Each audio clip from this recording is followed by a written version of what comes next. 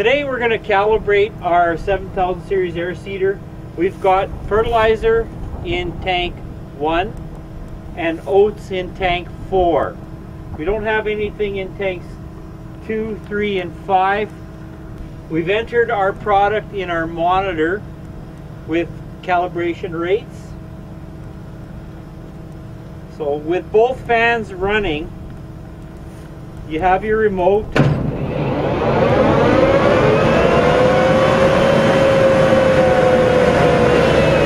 One click on their bottom green button is for fill. All of the oil is being diverted to the conveyor or auger. The fans stop. And if I hit it a second time, we can hear oil being diverted to the metering system. In order to calibrate our tank, we have to have requested rates. You can use your Xtend app and your tablet like we have here. We have a requested rate on our 4600 of 120 pounds. We have a requested rate on our oats of 90 pounds. We can enter multi-tank calibration from here. Automatic calibration.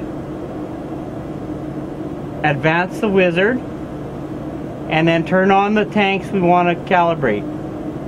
One and four. We have to prime our augers. So we can do this all from the tablet. So we have a requested rate.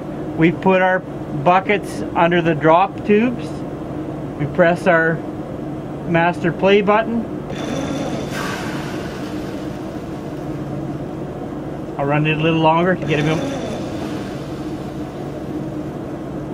We've got some product to make sure that we're not measuring empty RPM.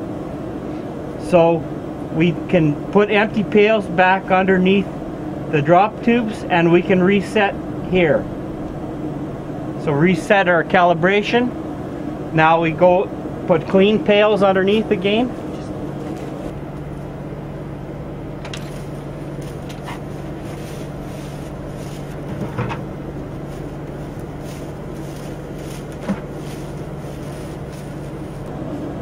We'll hit our master play button and we'll run about a half a pail in each. Fertilizer is full. Keep our oats running for a second and shut it off.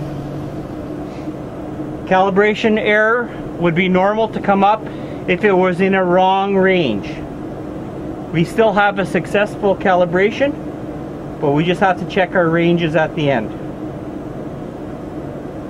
Now we proceed to the tank and grab their buckets and we gotta weigh them. So our oats, it's expecting 13.3 pounds. Our fertilizer, 11.4. So we'll turn on our scale. We'll wait for our tare value to show up.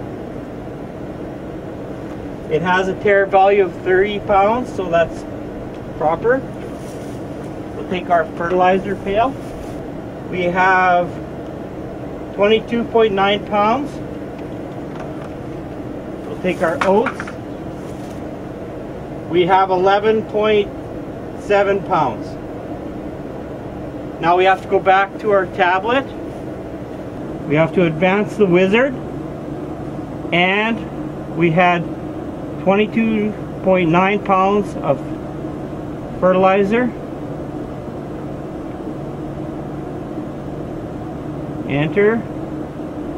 And we had 11.7 pounds of oats. Advance the wizard. It says that our oats was 12.3% out, but our fertilizer was like 100% out. That would be an indicator that our cal factor is very incorrect, the first one, or we have the wrong metering auger selected. So now we have to do a second calibration. We save it, we save it, and now accept it.